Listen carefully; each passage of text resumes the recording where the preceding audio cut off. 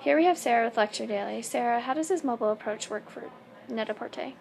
I think for Net-a-Porter, um, you know, their consumers are really interested in, you know, interacting with them, um, you know, through content and through social media. And I think, you know, having all these different ways for them to actually shop in a very content-focused um, atmosphere just kind of reinforces that and allows consumers to really pick and choose you know, how they want to interact and shop. So whether they want to just go through the regular Net-a-Porter app where um, they, it's basically um, a simple shopping platform, or if they want to, you know, shop through Porter Magazine by using, you know, scannable content in paper form, or um, interact with, you know, the edit or shop via um, the NetSet. I think it just gives consumers more options um, allows them to really um, have the kind of experience shopping online that they want to have.